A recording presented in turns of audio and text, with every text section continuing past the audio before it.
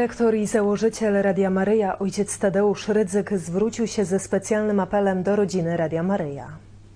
Szanowni Państwo, kochana rodzina Radia Maryja.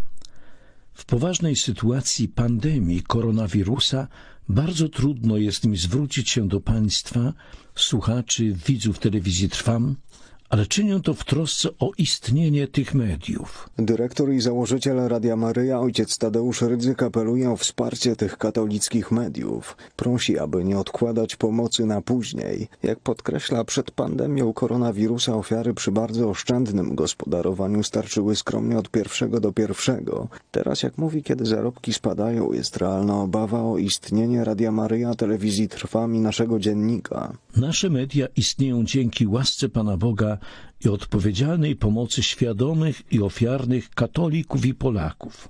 Szanowni Państwo, kochana rodzina Radia Maryja, mimo trudności, z jakimi wszyscy się borykamy, jeszcze bardziej prosimy o pomoc.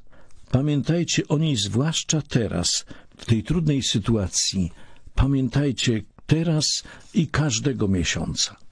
Bez tej pomocy grozi nam zamknięcie Radia Maria i telewizji Trwam, Podobnie bez kupowania, najlepiej zaprenumerowania naszego dziennika też grozi jego zamknięcie. Czy możemy na to pozwolić przy morzu mediów liberalno-lewicowych i naszym niewielkim procencie mediów katolickich i polskich? Ojciec Tadeusz Rydzyk apeluje także o modlitwę w tym trudnym dla Polski i świata czasie.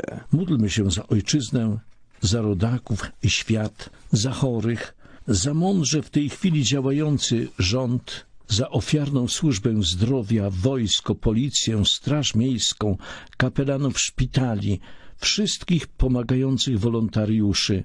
Módlmy się o mądre, odpowiedzialne zachowanie wszystkich.